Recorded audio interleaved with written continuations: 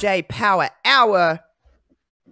It's going to be an interesting um, episode today. Probably not a very funny ha ha episode from us. Um, I don't know. Maybe it w- who knows where it will spiral into because even with a topic, we could still end up talking about anything. We just talk for about half an hour about every about so much shit. So Yeah. who knows with us where this is going to go? But um, I'll just put a, a little disclaimer out at the start of this episode, just so everyone's aware. There might be some topics that are a little bit uncomfortable for some people, or some triggers. We're going to be talking about sexuality, mental health, um, just in that kind of vein. Um, you've probably seen the title of this episode. You see me post something on Twitter about this a little earlier in the week, just to kind of give you a heads up on what's coming up today. Um, but we'll talk about that in just a second. First and foremost, JPJ, how you doing? I'm doing well. How uh how are you? Yeah, I'm doing good. I've had good. I yeah. I mean, I cannot complain. I mean, I had a horrendous time this past Saturday. I traveled to watch my American football team get absolutely destroyed in the playoffs in 0 degree weather. Oh, So, oh. other than that, other than that, So you're cold and depressed, cold. basically. yeah, cold. Cold more than anything. It was cold. Mm. Uh, but other than that, I'm doing good, man. Big things on the horizon. Feeling optimistic about what's coming up down here. I'm excited for right. next week, Royal Rumble chatter. Yeah, we're, we're ready for that show. by Uh, the way, guys, we are. oh yeah, We are gearing up. We're going to be talking. We'll do Rumble predictions. We're going to do. It's just going to be literally the word a- Royal Rumble and just anything Royal relating Rumble to that. extravaganza. That's what we'll call it. Great, great marketing there. Marketing genius, Yeah. JPJ. That could be your like Yep. your uh, nickname or something. You could put it in little My nickname, yeah. Marketing, Marketing, the marketing Jesus. Oh, look at that! I That's like that. bad. Oh, That's I don't. bad. The marketing That's G. not bad. You could be J J P J. Jesus JPJ. could. MJ That'd be great, JPJ. yeah. Jeez, that's that's Yeah. a tongue tire. And then if I got big enough, you know, I could start off as the marketing genius. And then if I was a heel and really wanted to really wanted to mess with people, I could become the marketing Jesus. Mm, there you go. See, JPJ. or you just call messing you with people. if you're the heel, you could just call yourself the JPJ, because you know how sometimes Yeah, they call that's true. the. It's like the Brian I. I liked I would actually I'd be like, Mm. yeah, no, I am the JPJ. because there's no one else. It's, you're not a JPJ. No. You're the JPJ. Correct. I mean, I'll take my Anyway. royalties when you when you turn. I want my royalties check in the mail, fair. Like Okay. like pro wrestling tees. Send it to me in the mail. Yeah, eight months after uh eight months after it was Yikes! due. But yeah. A casual that's a reminder to check out uh what a what a maneuver. They're great. They have a lot of people. They have my shirt. They have a between two beards shirt. They have love wrestling shirts. They have CFG streams shirts. Mhm. They have shirts for fucking everybody. The What a Maneuver shirts themselves, if you go to What a Maneuver and go to their actual store, they have some fucking dope shirts. They've got a shirt that I've got coming that is a uh, 21 Pilots cover art of the of the uh, album Blurryface, but it says Baby Face, and it's fucking awesome. Ah. yeah. yeah, that's a great shirt. Yeah, that's a and they have all clever di- they, idea. they have all different kinds of things, and like you can get customs done where it's like um you know like the Run DMC shirts like with the red. I got a Run Yes. DMD. I got DMD because I was like, oh, it's a custom shirt, and, it, and it's Dr. Britt Baker. Um, so yeah, it's um they're cool. Go to a Maneuver. They're just great. I they're in my in my links in the description in my link tree. You can go to my a Maneuver thing, but you can see the whole catalog of, of, of stuff on the uh, left of the screen on uh, that website to go and get all your a Maneuver stuff because they're great, they're fast, they're relatively cheap. To be completely honest, it's a pretty good price point um, for what you're getting. Um, so I would, I can't, I'm not just saying that because my shirts are on there. Whether my shirts are on there or not, they're just a good time, and they've got a great social media uh, presence. Mm. They're they're very good at They do. social media. They get it, which is something that's uh, I don't know. I don't know if this is just very millennial of me, but it's very appealing when a company or brand is good at social media. Their social I would media agree. Yeah, the I social think, media uh, game is Yeah. Uh, I think uh, when I think of a company that really has their social media game on point on Twitter, I think of Wendy's. Oh yeah, Wendy's Wendy's is is, a very- with that. Yeah. Very good. Like they're funny. They stay Yeah. like when when Relevant. big time pulp culture people tweet Mhm. something, they're in the replies saying Yeah. something crazy, and they're very it's a very good follow, and it makes, I, in my opinion, I agree with you. It makes the brand look good. Yeah, it makes them I funny. think- and you go, ah, I like that. I'll spend my money there. Yeah, and if you and if you're a brand where you know, especially the younger generation, like social media is where a lot of them reside. If you can have a presence on there and look cool, like when Wendy's does their tweets for the most part, like you said, they're funny aha tweets. like it it's must be a, like a oh, that's pretty cool. 22 year Like, old have running someone- that account. Like it must yeah, be. like you have someone who gets it Mhm. that's going to appeal to, To- kids, to that you know, demo. and it's just yeah, that's what you want to do. When you're in your early 20s, when you're in your adults, when you're in your late teens, early 20s, all you want to do is like be with the trends. You want to just be trendy, you Mhm. want to be cool. And when a brand does that, it's just like you you did your job there. You're appealing to your audience and I really like that. And for people who don't Yeah. care about that, it's no sweat off their back because they just don't pay attention to social media that much. So it really does no harm um, to those people that aren't paying attention. So yeah, go check out What a Maneuver. They're they're a really really good time and just yeah, better than alternatives. I'll put it that way. yes, we'll leave it there. Um, but yes, Royal Rumble is next week. We'll be talking all things Royal Rumble. Uh, but this week is a little bit uh heavier, I guess you could say, a little bit different. Um, as everybody knows, I've made it very clear, and anyone that knows me, uh, 18 months ago, on June 18th, 2020, uh, I posted a video that kind of, well, not to be dramatic, but it changed my whole life, to be completely honest with you. Um, I posted my coming out video. Everyone knows the actual story. Um, I'll post the the link to the video if you want to pause this podcast and go and watch that first, just so you, if you've never seen it, go and take a listen to. It's about 18 minutes long. You do need to watch all of it to understand where my mindset is at. Um, but it was a video that I never really thought I would post in my life. There were certainly moments in my life that I was like, I will never tell anyone this, and I'll just kind of live my life um, and and kind of move on. But I posted it, and a lot of people just think you post, and then your whole life's different, and then you just kind of live. And that's not necessarily the case. Coming out is not just coming out in that moment. It's a whole process that I think I'm still dealing with a lot to this day. Um, but a lot of people don't know the story before. They don't know the actual story of what that day looked like for me. They don't know the actual story of the the lead up to posting that. They don't know my life when I was a teenager and, and kind of where I was at in my head. They just kind of know the general outline of it. And I've never really gone into things in detail of like what it was actually like for me as a kid and, and finding out about these things and going through my early 20s of realizing what I am and not telling anybody and times I was nearly outed that actually did happen to me and it was a crazy experience. Um, it's pretty wild. So I just want to again say to everybody, I might get a little emotional in some of these stories. Uh, Some of these stories do still make me emotional because it's still very fresh. I've only been out for 18 months. It's really not that long. Um, so just pre warning, go with me, guys. I- I'll do my best. And if I cry too much, JPJ is here to kind of lead a conversation if he needs to. He's kind of here to hold my hand today. And if he has any questions, I'm sure he'll pipe in. And I do have a lot of questions for him because I don't think there's there's even stuff that JPJ doesn't really know where my head's going to be at, and there's some things that me and JPJ are two very different people, like everybody, but we've had two very different experiences in life. Um, and it's not just about sexuality, but it's just about actual experiences that um, I never ne- necessarily have never had, and he has, and vice versa. So um, it's kind of, I kind of, weirdly enough, as weird as this is going to sound, guys, I kind of like that JPJ is a cis straight white man right now. Well, not white, any color is fine, but like uh, just a, a straight man because we have very different experiences and it's not an echo chamber. There's things that I don't understand about him, there's things that he doesn't understand about me, and we can kind of just meet in the middle. So, um, basically, this is where I'm going to start. I'm going to start with that actual day. I will don't think in my life I'll ever forget that day of June 18th, 2020. Uh, we're in the middle of a pandemic. I'm at home a lot. And when you could probably attest to this, JPJ, um, when you're at home, what do you do when you're on your own? You just think. you just think a lot. Like, I'm sure you've been in moments where you've just been on your own and you've got nothing else to do. So you're just alone with your thoughts. Um, is that pretty confident that I can say that? Oh yeah, for sure. Yeah, I mean that's yeah.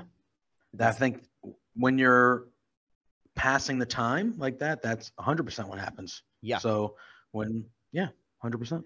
So a lot had been on my brain. Um, I will say that about a year up to eventually posting this video, um, I kind of had it in my brain. I was like, I think I'm at a point where I'm finally accepting my life and accepting who I am. And I'm like, maybe I should just tell people. But every time I would think about it too much, I'd go, abort. Let's not do that because that sounds like not something I'd ever do. I'm a very.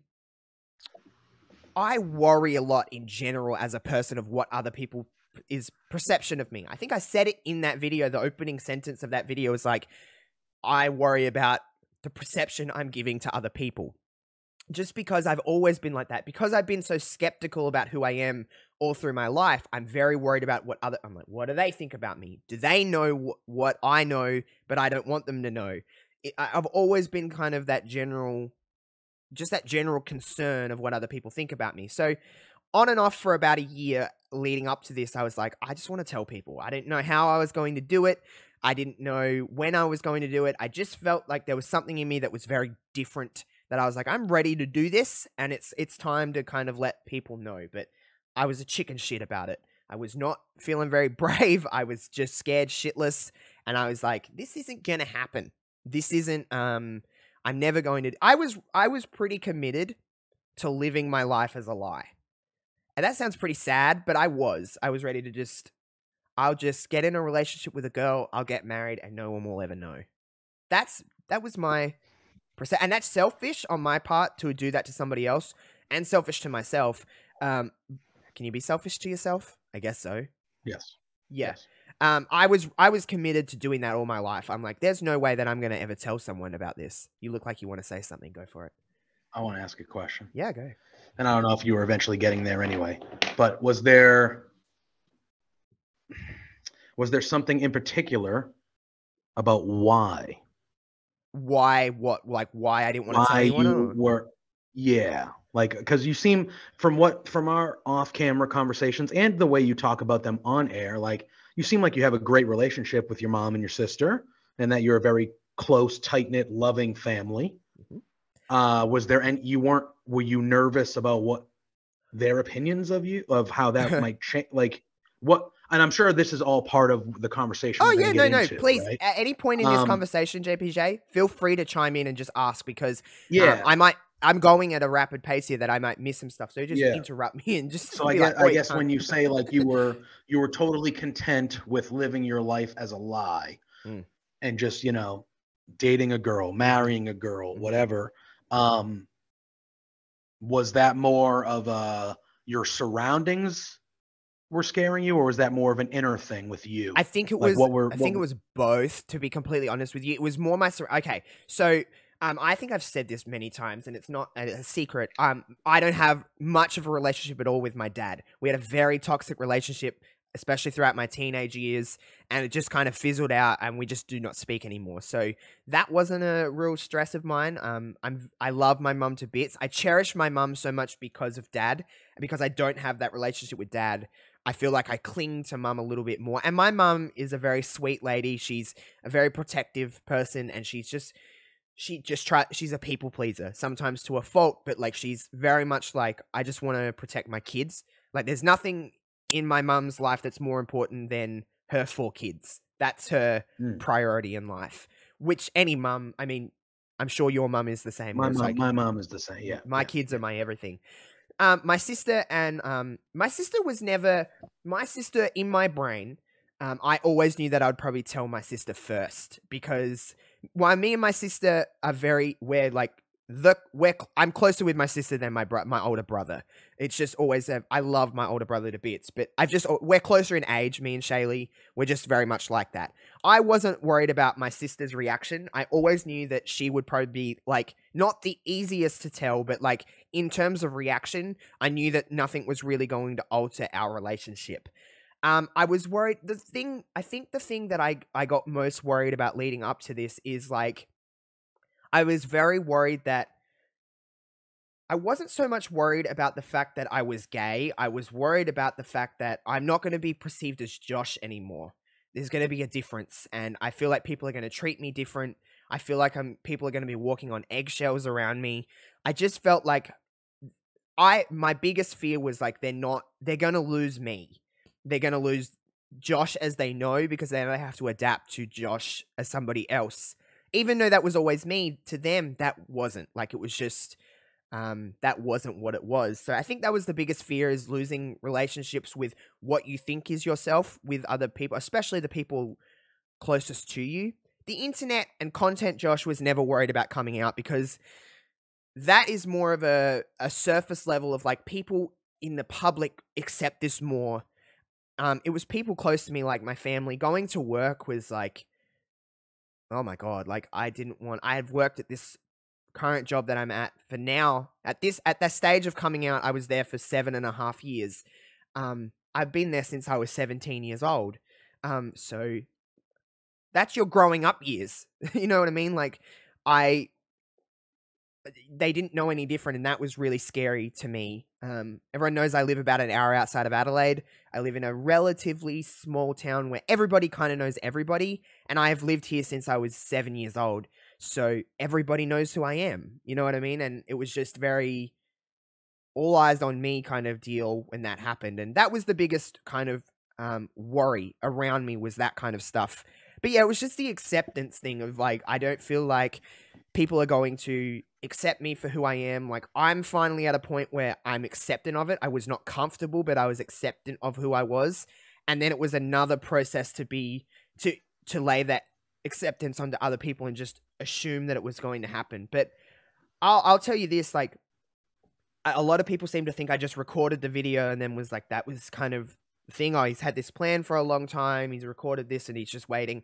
I went to sit down to record that video. I no joke to you, probably about 20 times. I sat down, I pressed record, started the sentence, and went, if I do this, this means it's real, and I'm not going to do this. This was about six months prior to even releasing anything. Was I tried to do that a lot, and I couldn't do it myself. I every time I'd sit down in my house, I would just sit at my computer and just kind of sit there and stare at the camera and be like, I'm not doing this. This means it's real, and it's not real. There was still that kind of I'm not going to speak for every single gay person in the world, but for me, I was constantly trying to talk myself out of being gay. Oh, it's just a phase. You're not really gay. You're just kind of being drilled into your head. Maybe you're not like. I was constantly trying to convince myself that it wasn't real. So recording a video like that was my final stamp on accepting that it was real, and I didn't want to believe it in a lot of ways. Um, it's it was really really difficult. But I'll I'll, I'll, I'll come back to the video in a second, but um, I want to rewind to school because school was difficult um, because I wasn't sure of what was going on. I was just when they say you're confused, it really is just a state of confusion. It's not like you just maybe you are aware and you don't want to accept it, but I didn't really know. I didn't really understand what was going on. I'm like, why? What is because puberty is a horrible time let's just be honest whether it doesn't matter what your sexuality is puberty is a mess. Your hormones are crazy. You're like what is what is going on in my body? Like being 14 15 years old is a mess. You can like your hormones are insane. Like you don't know what's oh, yeah. happening. You don't know what's happening yeah. in your own body regardless of sexuality. But my big thing was like why am i not feeling a sexual attraction to females? What is going on here but I wasn't necessarily feeling a sexual attraction to males. It was just kind of like because you're so focused on what society is like, this is what you are. I was like, why am I not like I'm seeing all these kids get into relationships and stuff. Relationships, I say that at 15 years old, but you know what I mean? Like yeah. you're in high yeah. school, but like I'm seeing yeah. all these people get into like having a girlfriend and I'm like, why is this not happening for me? Um, I had a very strong connection with both males and females, to be completely honest with you, at school. Probably more, I did lean towards, especially when I was a kid, hanging out with more girls. But as I got older and into high school, I mean, I was just hanging out with kind of everybody. Um, so it wasn't like leaning yeah. into like, oh, I'm that guy that hangs out with all the girls, so a lot of people just assume that he's gay. It wasn't even that. It was just I was just kind of a social bit of a social butterfly at school, but I got bullied a lot for my sec- eh, being gay when I didn't even fucking know I was gay. And that kind of scars you for and that's another thing that carried with me for so long of like, well, I don't want to lean in and tell people that were telling me that I was gay when I didn't even know that I am gay now because even though who gives a shit about people from school when you're in your like I don't I don't talk to many of the really any of those people. Yeah.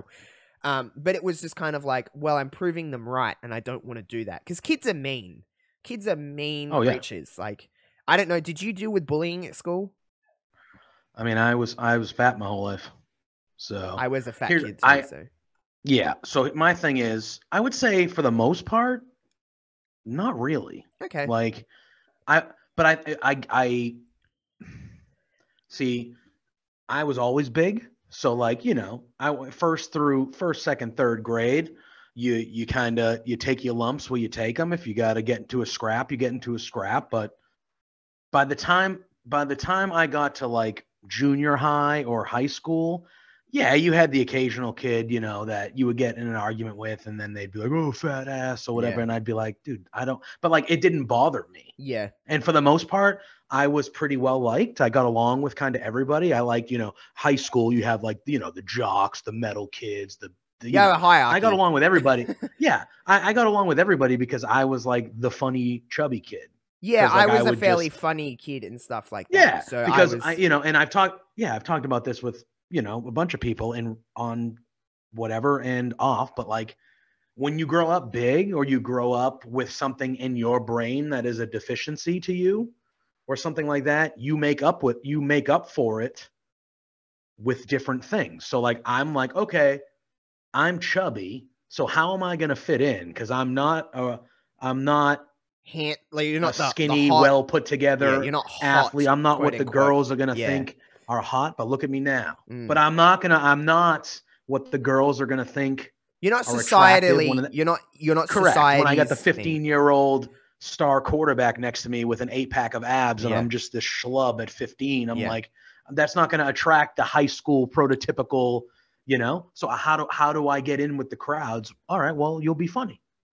You'll you're gonna make it up with your personality. Yes. You know. And I was already naturally kind of funny to begin with Mhm. but like yeah, I leaned in on that shit. I leaned in on self-deprecating humor. I would make fun of myself for being fat before anybody else Wow. could make fun of me for being fat. Speaking. So it speaking was- my language here, JPJ. Yeah.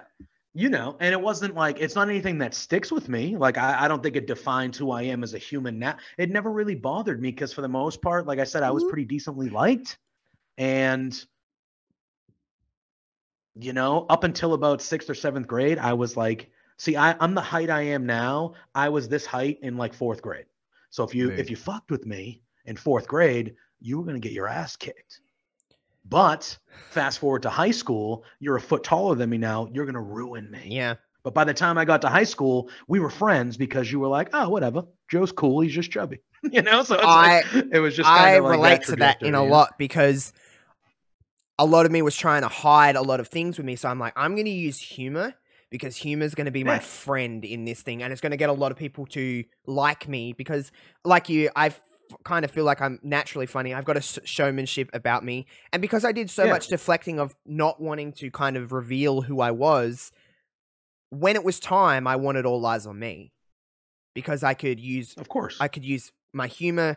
Like this is going to be a surprise to nobody, but the thing I was best at at school was drama class. Was I was good at plays and I was good at acting and I was good at performing arts, really, music, drama.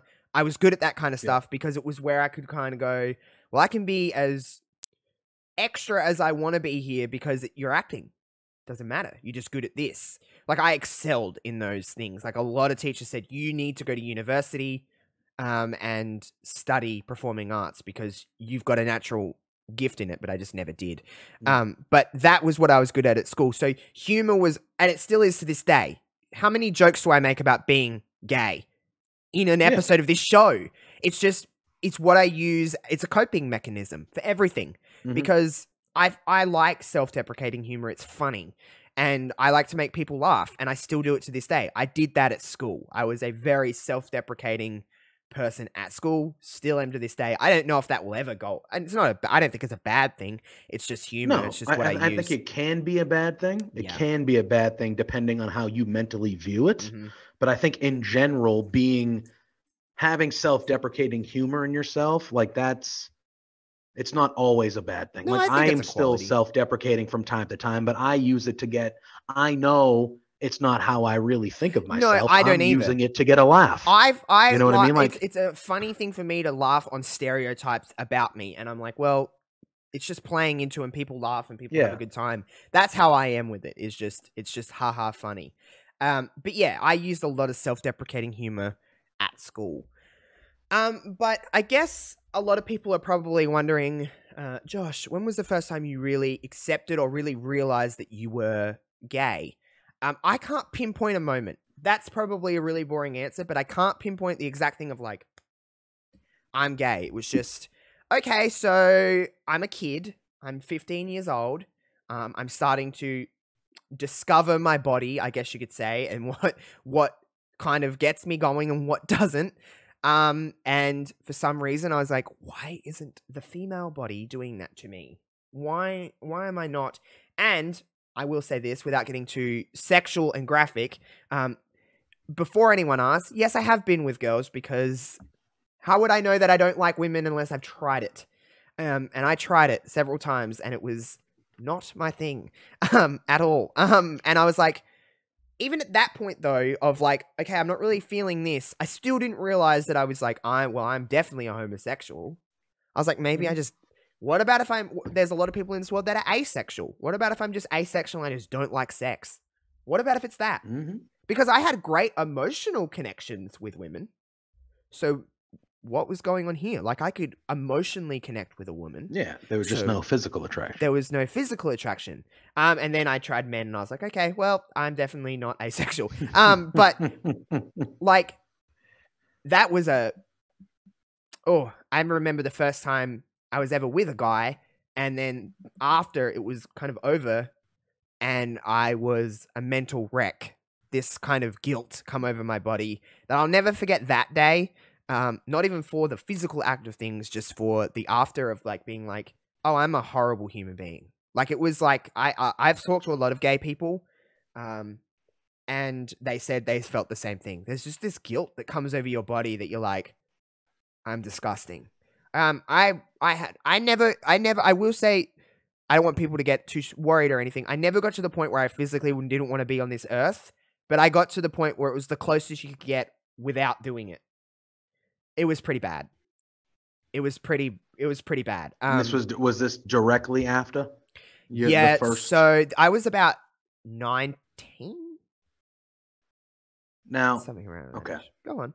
were you brought up religious? at all? No, not at all. So there was no Quite like the religion opposite. backstory No. because certain religions tell you that that is a that is a sin Oh, I know. and you shouldn't do it and blah blah blah. So I didn't know if that No. was part of why you felt that way. Like It was just this. you know, I think it was was a a, realize. I think it it was at a all. realization of once you lean into that, what your once you lean into anything of what your body wants or what your mind is questioning or what your mind wants, mhm, there's this certain realization that comes in after it. I was nervous as heck, as any time you are, you know, that kind of stuff. But I was nervous as heck. It happened, and then it kind of he was gone, and I was just sitting there, and I was like, "Oh my god, I am. This really just happened, and what the hell? Why did I just do that?" And just feeling like dog shit, and it lasted a long time. Um, just this, I just felt like I was a less than person because I lent into that thought in my brain of not of Mhm. being with another man. And um yeah it was really it was really difficult for a very long time um and it took a long it did take a long time to get past that of that feeling um because there would be moments. It's not like there's this one moment that you're like not accepting and then you're accepting. It's these it's waves of like okay i'm fine and then i'm not and then i'm really bad and then i'm really good and then i was ready to tell the world and i'm not fine and there was certain Mm. obviously there's certain men throughout my life that obviously know that I am gay, but Yeah. I wasn't telling the world. And I did allude to this before, but um, there was a time I was nearly outed, and I don't know what would have happened. That's the worst thing you can do to someone, whether you're trans, whether you're gay, whether you're questioning, whether, whatever you identify as, to out somebody and take away that moment of letting them decide when it's time for the world to know is like I couldn't think of anything worse, but there was a time that I was nearly outed by somebody very it was a very real thing that was going to happen to me.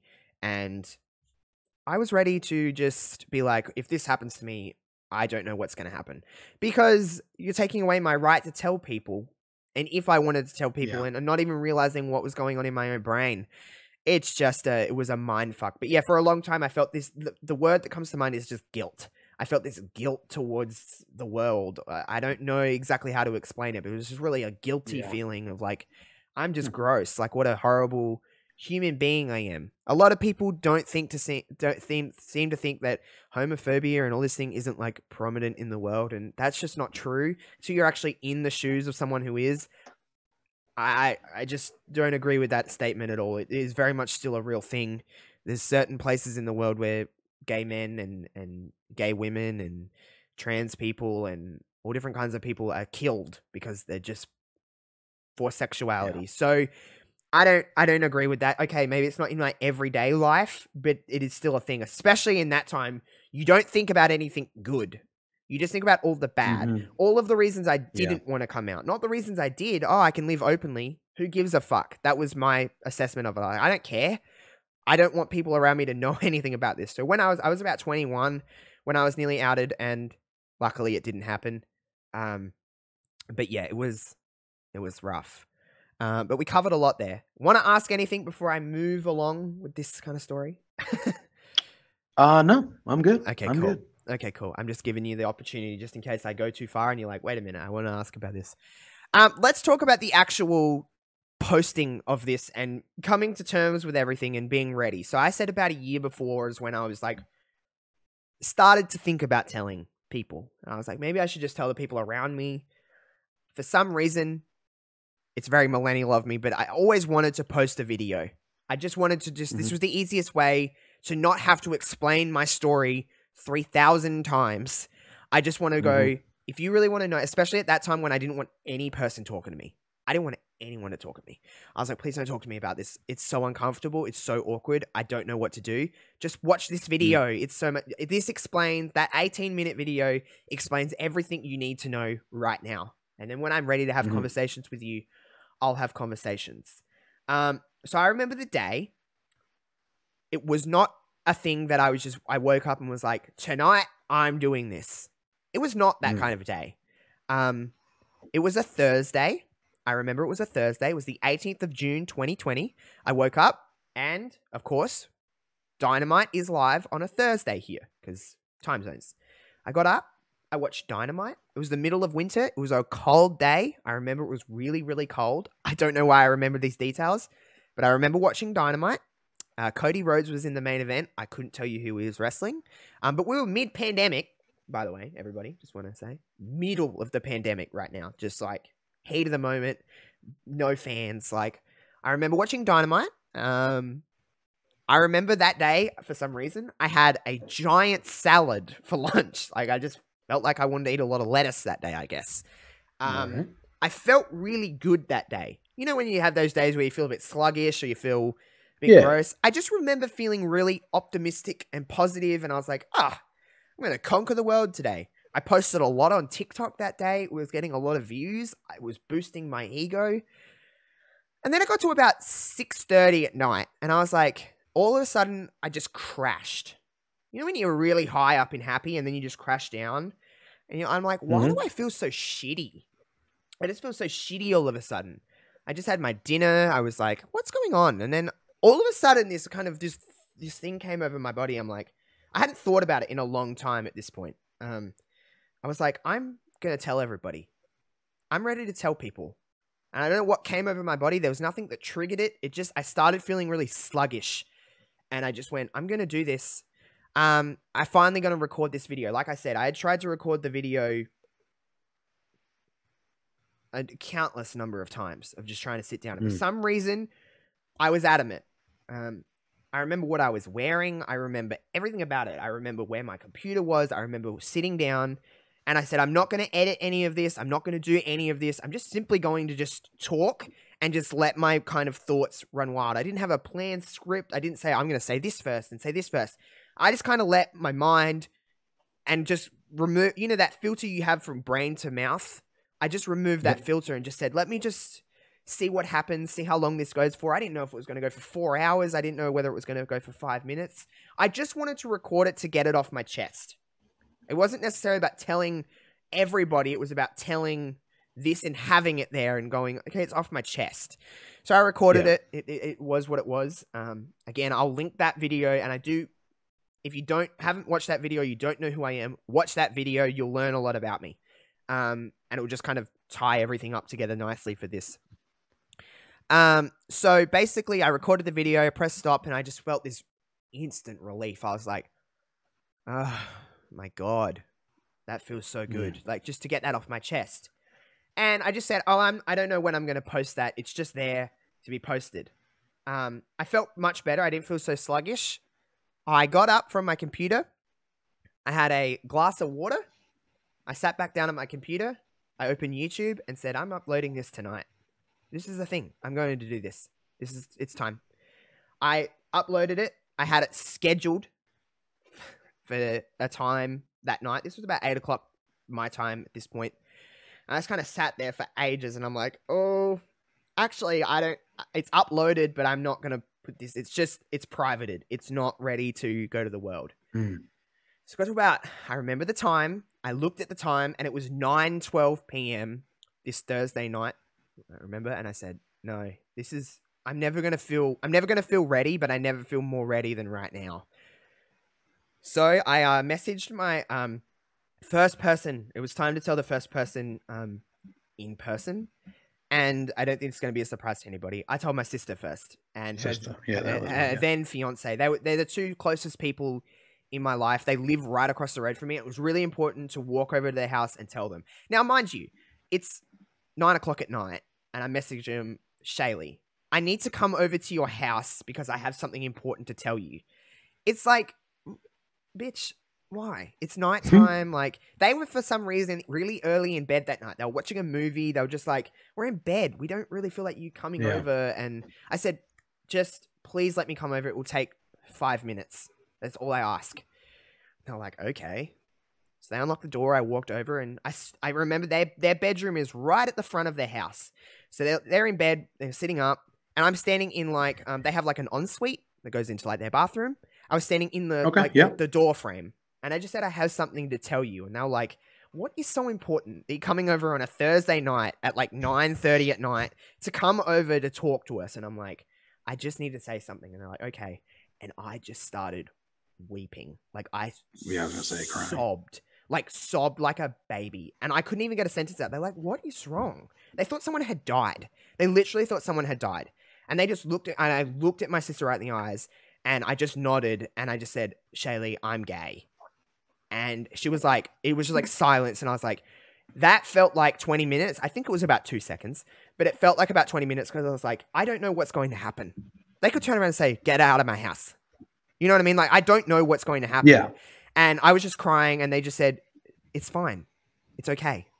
And I just sobbed. I'm going to start crying in a minute. Oh, oh. Um, I just sobbed. And um, the thing that always makes me so emotional, I don't know why. Um, I used to, so my, I adopted a rescued a dog years ago named Banjo.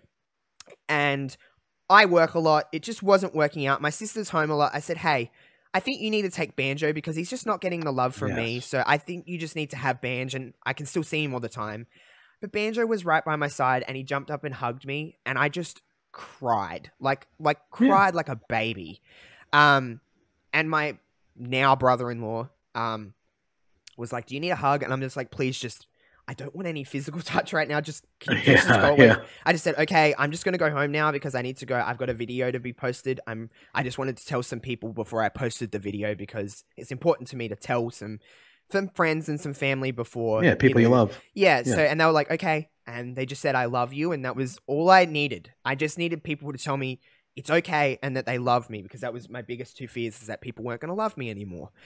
Um, so I I went Mhm. home. I told her I wanted to ring a couple of friends. My fucking older brother hates hates phone calls and he's like, I'm not answering the phone. So I had to tell him over text message because and he just he was for some reason my older brother really really made me nervous to tell. I think it's just because Okay. you want to you want to be like your older brother and you want to aspire to be especially my brother's 7 years older than me so there's a quite a big age gap um so you don't want to disappoint him and because I didn't talk to my dad he was the closest thing like that to me so I didn't want to disappoint him Yeah. but he said it's fine I've been waiting for this day for quite a while like just it's okay um so I just wanted to tell him and then my mum was she worked late nights on Thursdays so I tried to ring her and she wouldn't answer, so I had to message her, and then she rang me when she'd seen the message, and um, I just wanted acceptance. The bit that was like when I clicked public on that video, um, Mhm. and posted it to Twitter and then to my Facebook, I just had this outpouring of messages, and it was so overwhelming. I didn't know what to do. I was like, "This is so scary," and I don't know what's going on. Um, um, but just so many kind messages that sometimes I still go and read um, to this very day because it just it reminds me when I'm feeling a little bit down in the dumps about some things that like okay it's fine. Um, there'll never be something in my life that's scarier or more brave to do than that. I will happily pat myself on the back for being brave in that situation and doing something that's so out of my comfort zone. Um, but just I just I just got like my phone was like ding ding ding ding ding ding ding ding ding ding of just all these messages and notifications and just from Facebook and Twitter and my YouTube comments and just so many people just being like, "Oh my god, like thank you for sharing your story" because I was pretty open in that story. I'm sure you've I think you've you said you've watched it JPJ. I've seen it. Yeah, yeah. I was yeah. pretty yeah. open about pretty much everything. Um, I didn't really Mhm. leave too many layers of the onion to be peeled. I just kind of cut right into that thing because it was really important to me. There was no middle ground with this. It was like tell nothing or tell Yeah. all, and I was just ready to tell all. Um, a lot of people tell me that I come out pretty late in life, 24. Um, I think a lot of people don't Is realize. there- Well, I was gonna say, is there an average age? Like, is A lot of people, is there people- a lot of people research know- that says it's an a lo- average age or something I- like that? Or I, I just feel like there's a lot of experiences that I missed out on. Me personally, yeah. And one thing I did want to ask is, do you think if the pandemic never happened, that would have changed your timeline at all? I don't know. It was just because there was a lot you of people at pandemic- home, so I was kind of like, "This is." I'm just not doing a lot. I'm not going out. It was like a, a little bit of a security blanket because it wasn't like I could go out to a club because, and a lot of people Yeah. would know, and like, well, that that's kind of where because I know you had said you started thinking about it about a year before you actually made the posted the video, right? Um, but I'm thinking if the pandemic never happened and everyday life was regular everyday life that we knew it Mhm. pre-pandemic and you were you know going out more or going to see your friends or family more and you didn't have that extra time sitting at home and thinking about things and thinking about your situation do you think that might have yeah changed how everything I- happened i guess I I I don't know. I'm looking down at my phone at the moment because I'm just trying to um uh bring up the post of when I came out because I want to read something off of it. But um I don't know to be honest because yes, I did use it as a security blanket. However, I um I also I don't think it would have because I was just I was ready. I wasn't ready, You I should ready. say. I was the most ready that I have ever It was the you most said you said that you were the most ready you you had been to that point Yeah. you can I was ne- I don't think I was ever going to be more ready than than that day. You know what I mean? Like I don't think I was ever going to be Yeah. more ready than than that time to um than that time to do it because I was just yeah, I I I can't really explain it any other way. I was just it was as ready as I ever really thought I could be. Um Yeah. so yeah, it you know it it was just no to answer your question no. The pandemic wouldn't have changed anything i don't think. If i think about it no i don't think it would have. Um you know it's uh it's weird to think about this all because it kind of brings back a lot of emotions and a lot of feelings that i had in the time of how scared i actually was. Like i didn't want to look at Mhm. anything. I didn't want to i had work the next day and i remember waking up that day to a lot of messages from people from work of like, "Oh my god, I just seen this," and um, blah blah blah blah blah. And I was like, Mm. I started at three o'clock the next day. I remember that, 3 p.m. Um, and I was like, I've got to find a way to get out of work because I can't go to work. I cannot do this. Um, I Mm. didn't. I went to work, and to be honest, not that many people asked about it. Because at the same Mm. time, people care, but they also don't. You know what I mean? Like people have their lives and they don't care. Not in a nasty way. They just they're just living their life. Also, I think a lot of people were a little cautious around me. They're like, I don't want to bring it up at work. He's at work. It's not probably the time to talk about this. I do remember one person coming up and just they didn't say anything. They just said they just gave me a fist bump, and I was like, That's nice. it's just That's very nice. kind to do. Of like, Yeah. and it was a person, by the way. I won't say their name, but it was a person I didn't really expect. You know what I mean? I call them a casual that's work nice. Acquaintance. That, must have been. Yeah, that must have been a nice feeling though. it was. like it it's was, just one of those things where it's like, oh, cool, man. Thank Or you. girl. I don't know. It was a man. It was yeah, a like dude. cool. Yeah, like cool. Um, That's he's come up cool. and and fist bumped me and um just kind of like a you know good yeah, like I see you. I see you Good like, for you, man. I see you. yeah. um and then a few other Yeah. people come up to me and just kind of talk to me. My boss was really cool about it. He gave me a really nice message that day of like wow, I didn't I didn't know this about you and stuff like that. And we had a nice conversation about it a few days later. I had a lot of conversations about it, to be completely honest, with a lot of people because I'd worked there. For, I've worked there for quite a while. I built Yeah, up a they- lot of they relationships. They saw you grow up, you know. Yeah, Yeah, I was they- a kid. Seen you grow up. Some of them. I- Yeah, I, you I- were. I was a kid. See, so this is that. So this is how I, I've been. I'm older. I'm 36. So like, and I I I run a coffee shop. Mhm. That's the shoot gig. hmm Is I run a coffee shop.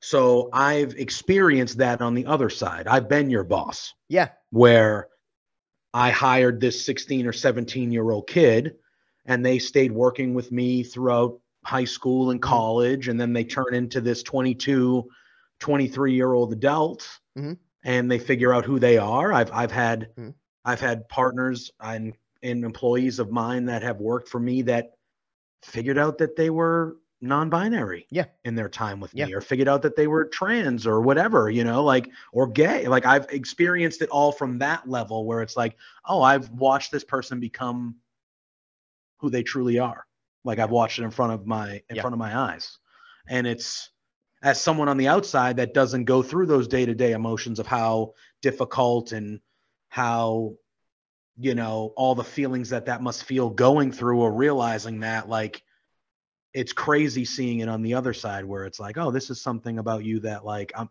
a you know and you did it on a more of a public forum Mhm. but for the people that know you day to day like when you eventually told them or they came up and you had that conversation like that's one of those things where it's like oh well like i appreciate you feeling comfortable enough to put me on the list of people that you valued knowing this information you know what i mean it's Yeah. just kind of No, I get that. you know yeah And there was people like that, um, like I said, at work and just in my life, um, that did go out of their way to have that conversation with me or to give me a message Mm. or to call me or whatever it was. And those are the people that I valued to know even more than just the extent of like the surface level of like what is going on. exactly Um, so I do understand that. It is really, I don't know, well, I do know what it's like to be on the other side, but I also don't because I can sympathize and empathize a little bit more with people that are going through it because I've been through it.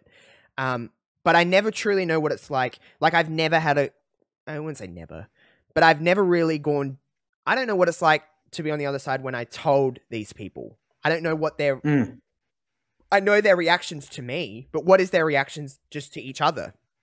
You know what I mean? Like I, I'm Yeah. sure, I can nearly guarantee that it would have been a topic of conversation that day for some people. Like, hey, did you see this last night on on Facebook? You know, did you Oh, see yeah. that video? And it's like I don't truly know what their initial reactions were, and I don't really care to know. It's not my business. Um, No. but yeah, I did have conversations with people around me the coming days, and um, they were very encouraging, and I learnt a lot about people. I also learnt that a lot of people are going to treat me far worse, and a lot of treat- Mm. people are going to treat me far better just for the fact that I am gay. And guess what? They're both as bad as one another, to be completely honest with you Mhm. because it doesn't feel nice when you're getting treated poorly, of course, because of it, but it also doesn't feel great when you're treated better just because you are gay. Because it's not, you're like, you don't like me because I'm me. You like me because I am No. gay. And that's weird. Yeah. Um, Mm. but there are people like that. Um, I learned a lot about people um, in the sense of who's really comfortable about talking to me about it and just asking questions and not worrying about offending me, and who the fuck is cautious and walking on eggshells, which I understand, but also like, especially in that first period of like, I'm super sensitive right now. Um, be careful what you ask me, but also ask me. You know what I mean? Like it was weird. It was weird. Yeah. At the now, eighteen months later, I'm fairly comfortable for the most part. There is still days, um, but I'm fairly comfortable with being like, I'm not going to get offended unless you straight up are just homophobic towards me. I'm not going to get offended Yeah. with what you talk to me about. Joke about it. I don't care. Like my friends that have a joke with me about it, and I'm a self-deprecating person. I like jokes like that. It makes me feel comfortable. It also, I know that they're comfortable enough to make that joke in front of me. Do you know what I mean? Like I find that endearing. Yes. So some people don't, and some people get extra sensitive. And I'm not saying one's right over the other, but for me personally, make the joke. I don't mind as long as you're not straight up being offensive, and it's not hard to just tell someone, "Hey, you probably stepped over the line a little bit there. Just take it back Yeah. a little bit." I'd rather you go Mm. too far and me just telling you they're not far enough and holding back on just being yourself around me. I just don't find that fun. But that's just me personally. Calm down, everyone. Um, but I went from it was weird. I went from posting that video and being really, really super sensitive to within a few months feeling pretty comfortable. I was pretty Mm. comfortable pretty quick. Like I was like, oh, this is what I've missed out on my whole life. You know what I mean? Like this is what Yeah. I can be me. I can be 100% myself. It was time. It was it was um it was everything. It was just kind of like oh my god, like I'm just living my life. My my content got better out of it. Um everything just kind of weird. Everything just kind of fell into place. It was weird. Go on.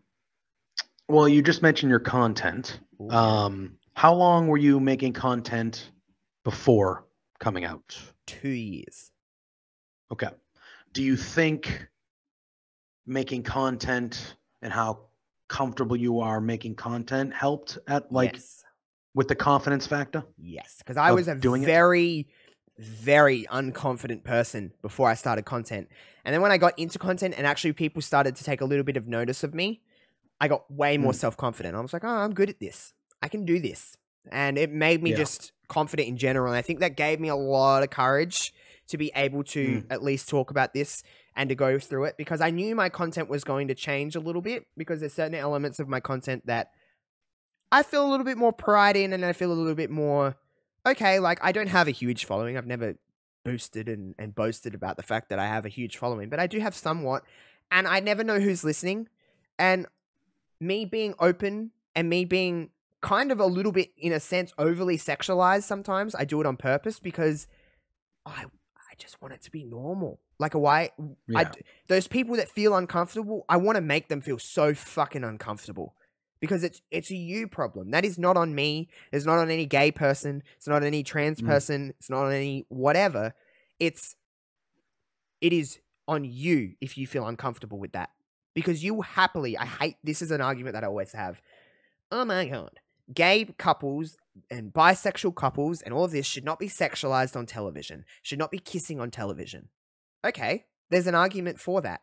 But that argument also has to say that straight couples should also not be kissing on television. They should also not be sexualized on television. They should also not be publicized on television for your children to see. It's the same thing. Yeah.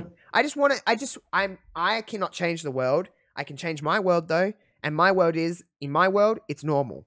And I post a you've seen my tw- my tweets and my TikToks. I do it on purpose because Yeah. people feel yeah. uncomfortable Very around it calculated. It's calculated. because it's, I just want to normalize shit.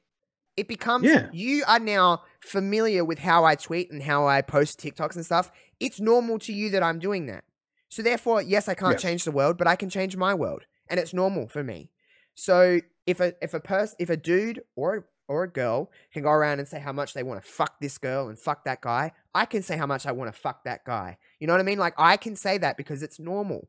I just don't. We have this thing of like it's not people say, oh, but it is normal and is this. Well, if it was normal, it would also be okay to say it in front of children. And a lot of people don't find it okay to say it in front of children. I have a little brother. He is 11, uh, 12 years old. When I came out, he was nine. I had a conversation with him. Do you think he cared? Kids are the easiest people to tell. They don't give two fucks. Yeah. I was gonna say I probably he didn't give a shit. especially in this time had and age, guess. I, I, c- Yeah. I do actually see the future changing. Like, kids are just more and more aware of what's around them, and they're just more and more Mhm. normalized to what. There's a lot more gay couples and, and bisexual couples and trans couples and everything like that now than there was when I was his age. That even Oh, more yeah, than for when you were his age, and, and Oh yeah. back and back and back and back and back. Um, it's normal. It's be, it's becoming it's becoming normal. We're on the the train of it becoming normal. But Zach was the Mhm. easiest person to tell. He just went okay because I said there's Yeah, going to be cool, a cool. time where it's Christmas time and Shaylee has a husband and Dylan has a wife and I have a husband and it's normal. So Zach was like, Josh, I don't I really don't take this the wrong way. He Yeah, said like, this whatever, He was like, yeah. I don't care. Because he said, Yeah. like, I asked him, I said, because he's, like, listen, he's 12 now. So, you know, things are starting to change for him a little bit. And there's, you Oh, know, yeah. certain things, you know, that is a little early, but, you know, in the coming years, I just said, Mhm. Zach, what's going to happen if one of your friends at school dates someone that is the same gender as them? And he was like, okay. Like Yeah, so just be friends. nonchalantly, and it was the best reaction Yeah. you can have. He didn't make a big deal, like, "Oh, it's normal, it's fine, it's." every-" He just went, "Okay," and just kind of moved Yeah, on with the conversation. I'm like, top work. You know what I mean? Like top of the Mhm. morning to you, lad. Like just the best. So kids, all those parents that say, and again, we shouldn't do this. We shouldn't teach kids about you know gay gay relationships and all this kind of stuff. It's like, well, I tell you something. No. I could have learnt a lot in sex ed if it was also taught for same sex couples as well, because I learned a lot about same sex sex, um, a lot just in my later years and being like, what is going on?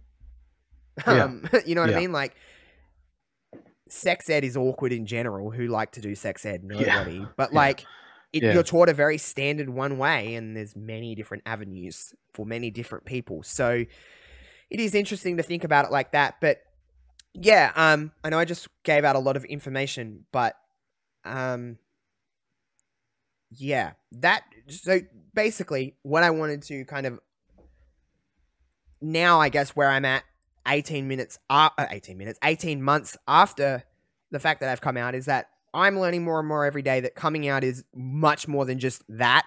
It's such a process Mm. to even get to where I am now, where people probably see me and they're like, he's a pretty confident guy. He is pretty comfortable with who he is, um, which for 99% of the time I am.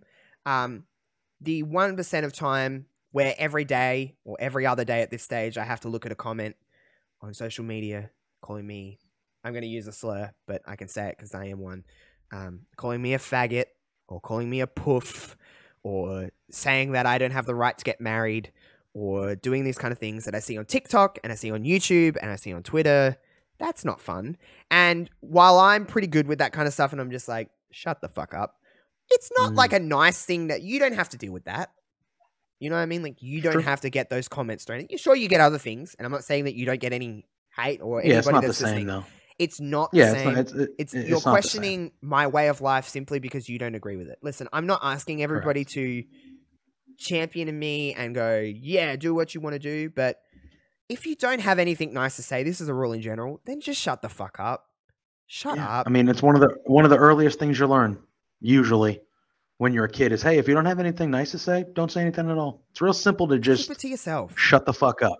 Yeah, it's Like, real just simple not- to just shut the fuck up. It doesn't make But everybody today just feels like they don't have to. It's like, hey man, just because you think something doesn't mean you got to say that. You can keep that thought. You can still think that, but no, not all of us need to know that. what you think about everything. no. Like it just And not only that, You um, know? you're questioning someone's way of life simply because you don't aren't that, or you aren't.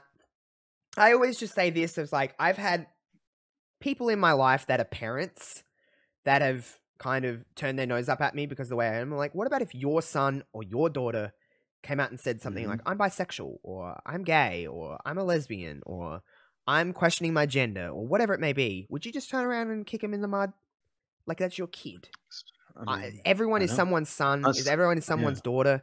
Like I just, um, yeah, it's just um, it's just really, it's just the thing to think about, especially for a parent, but for anybody. Like You're someone's sister. You're someone's brother. You're someone's aunt, uncle. It doesn't matter. Um, I think probably though, I will say that there is some things in my life that during this time I do have a little bit of a regret with, and I think the biggest one um, that I'm going to try and stay as least sobby as possible for because it's still very fresh. But um, as everyone knows, my grandpa passed away last month. Uh, was November or was it December? Early December. Within the last month and a half, my grandpa passed away. Um, and he was really sick. Everyone knew he was really sick. For the last three years of his life, he was suffering with dementia. Um, he had a bad Mm. fall that just kind of triggered everything and everything just spiraled. Yeah. Um, I was never able to tell my grandpa that I was gay um, because he, he didn't understand. He didn't know what was going on. And now that he's Mm. gone, um, it makes me very just like, I wish I did this sooner because I Mm. he was growing up. My grandpa, like I said, I had a very toxic relationship with my dad. My grandpa was like my dad. He raised me Yeah. um, and kind of made me the man I am today.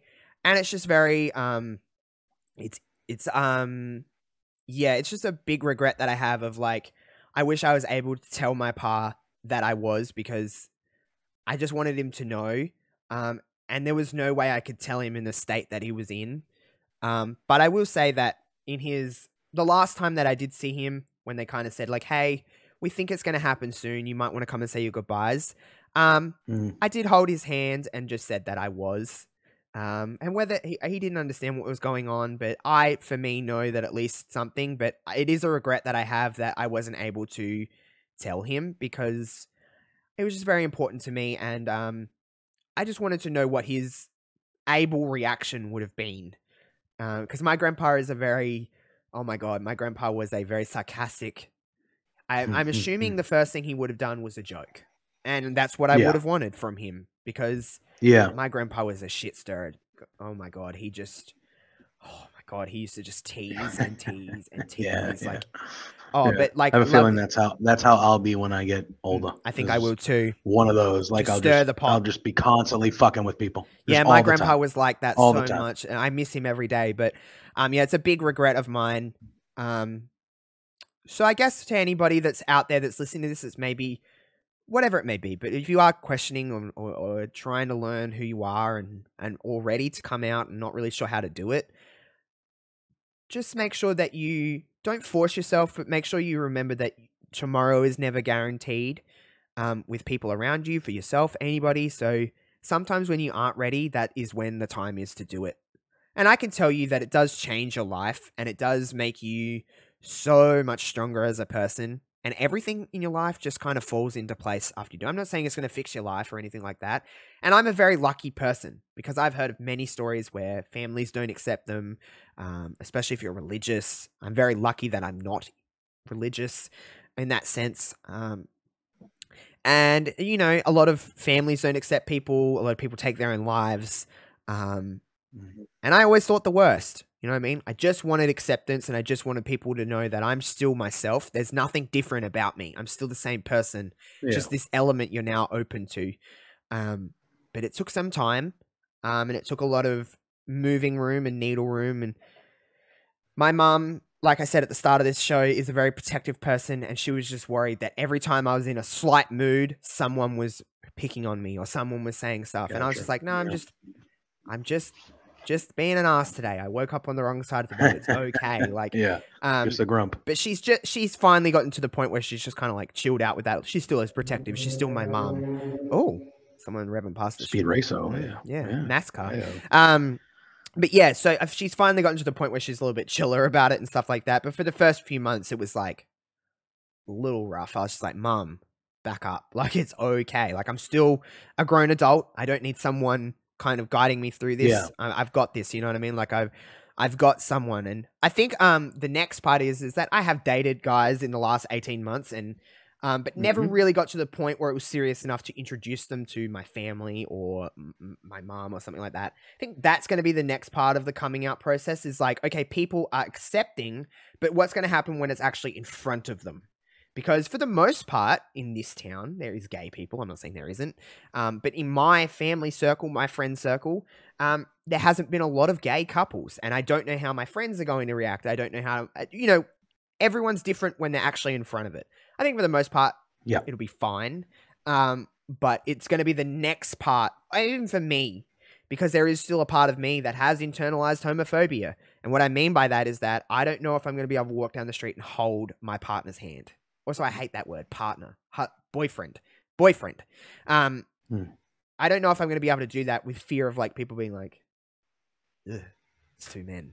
Even though everyone knows me, uh, I don't know if I'm going to Yeah. be able to kiss my significant other in public because is that weird?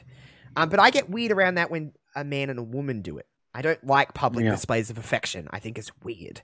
Um, so I don't know, but there is a part of me that's like, I don't know if I'm going to be able to go into work and do my shopping with this person because, like, that just seems like a whole nother thing that I've got to get past, and that's just a part of it, and that's what I'm learning. But um, it is interesting, and it is very, it's a hurdle that I'll have to cross. But um, I think the overlining message of me wanting to kind of reshare some things and tell some things that I've never really said was just it's just the ultimate thing that you want when you're going through this process is just love. You just want people to accept you and, and love you and and you just want someone to tell you that everything's going to be okay. As cliche and as horrible as that, just Mhm. horribly boring as that sounds, you just need someone to be like, "It's fine." You know what I mean? My sister just said the words, "It's fine," and that's all I needed. Yeah. Um, and I truly believe that everything would be fine. And this stage in my life, everything's pretty fine. Um, I do have a bit of a rocky relationship with, well, I have a non-existent relationship with my dad. I know that he knows. I've seen him. The only time that I've seen my dad in the last three years is when my grandpa passed, because it was his dad. So.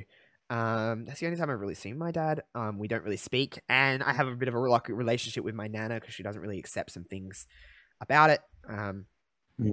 so that's it's it's a part of the territory, unfor- unfortunately. Um, and I guess that's just parts where we have a little bit of a difference because you don't necessarily have to worry about the non-acceptant part of a relationship with people around you, and I do. Yeah.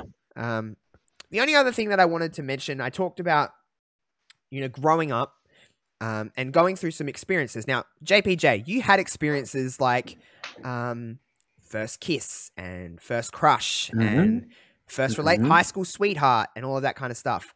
I didn't get a lot of that because Okay. openly at least. I didn't get a Mm. lot of those experiences. So I've had to, in a lot of ways, grow up really, really fast because I had to learn a lot about myself at a very early age. But also, I had to, now in this last 18 months, had to kind of let, let myself be a little bit immature and experience all these feelings. So we've had to grow up so fast Yeah. and then kind of go back in time a little bit because I'm like trying to play catch up. Um, there's a Mhm. society pressure uh, to be with somebody, to be blah blah blah blah blah. You know, ABC, all these things, and I've had to play catch up in this last eighteen months and try and jam pack a lot of my life that I should have had when I was sixteen into Mhm. now. Um, and that's been difficult. Um, but that's just more society. There is a society pressure on everything. There's a society pressure to look a certain way, to act a certain way, to be a certain Yeah. kind of gay person. I hate that. I hate the stereotype of like you're gay, so you should do this. What? I don't understand that. I don't. I, I don't give in to stereotypes. I joke about them because they're fucking funny, but I don't give Mhm. into that. I am Josh Robinson. I'm gay, yes, but I'm just myself. I'm not. Oh, you gotta flap your hands and you gotta talk like a girl and you gotta do this and blah blah blah blah blah. And oh my god, like you gotta you gotta act like why? I'm the same person I was before and after. There's there's no difference to me. Like I'm not.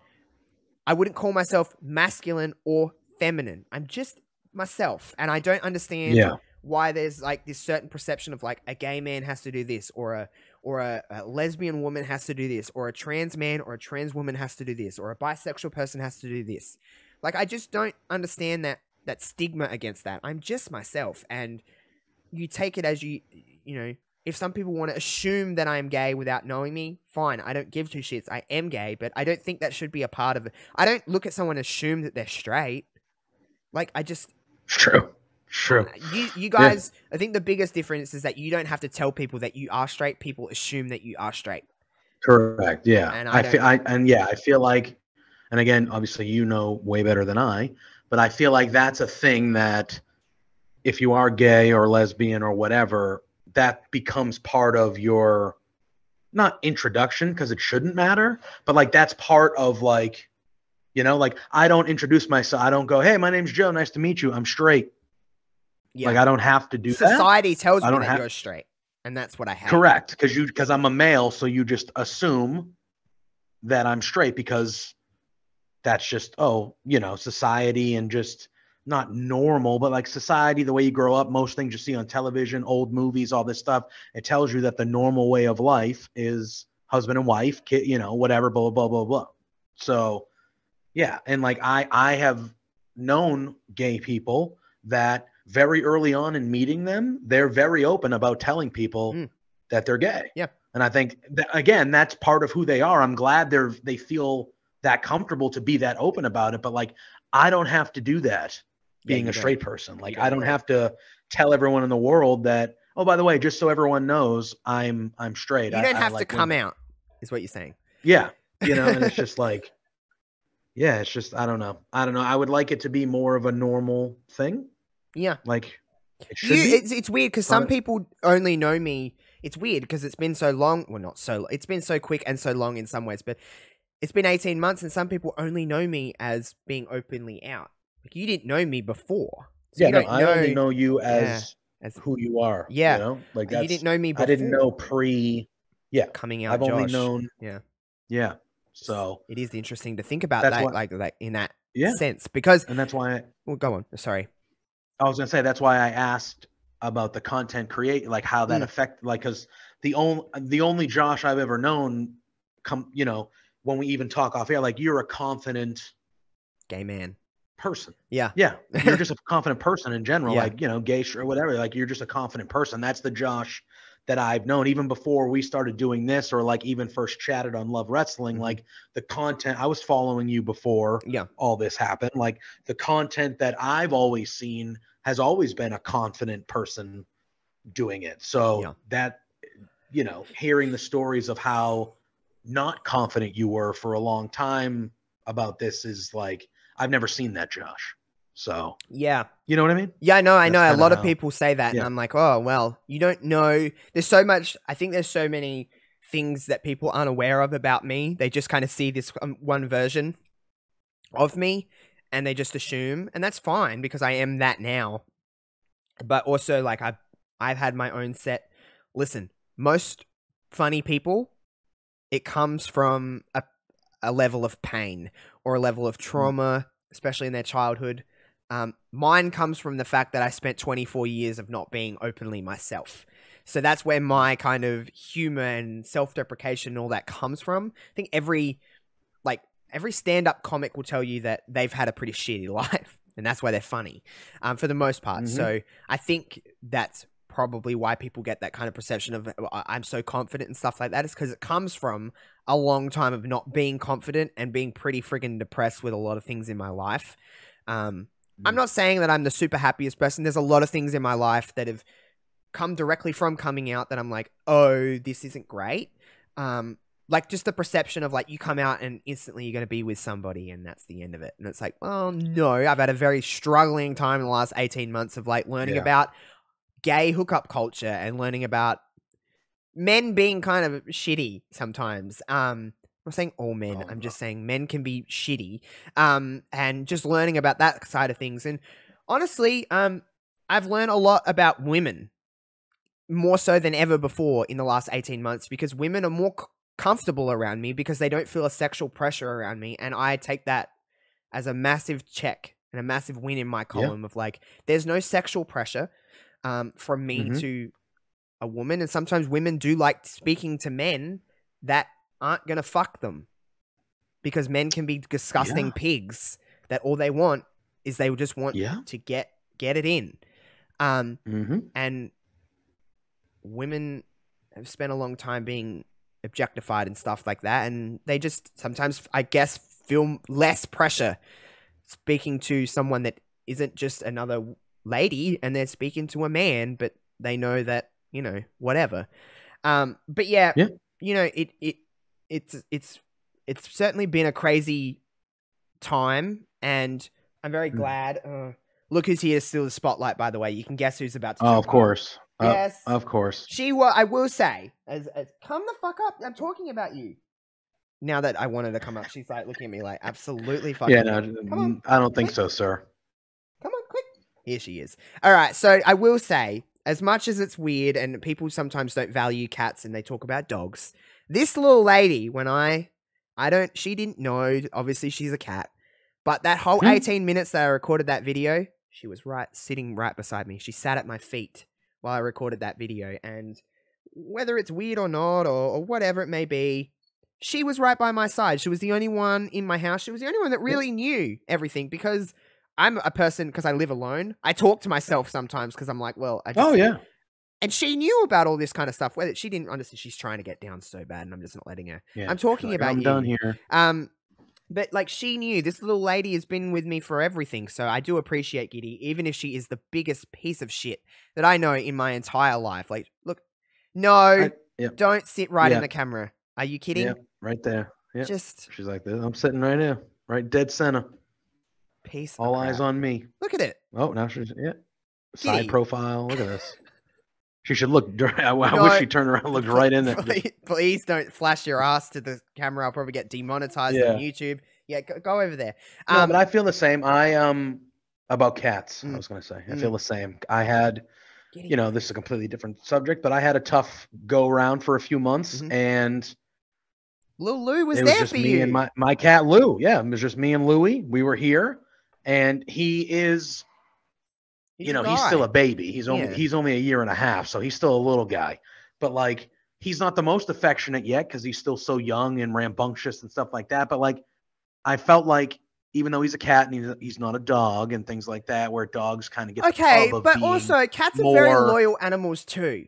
There's oh yeah, and he he knew he knew I was going through a tough time. He knew, Mhm. and you know he would sit up on the couch with me, Yeah, which He he, did never too. did before. Yeah. Or he would come over for some extra pets throughout the day, which he really didn't do before. hmm And I just kind of felt like, hey man, you know I need this. Mm-hmm. Like you know I need this. You're hooking me up because like you know something's off, man. Yeah. Like I lo- like you're my you're my best bud. I love you. yeah. I love So, like, my best little girl. you know? She's my she's my Yeah. she's the only lady I think I'd ever get married to. There you go. Look at that. She um, but Gid's birthday is next week. She's gonna be eight years old. Oh. She's she's she's So creeping up not only age. is it a Royal Rumble extravaganza next week, we're going to be celebrating Giddy's birthday. It's actually next Thursday of all days.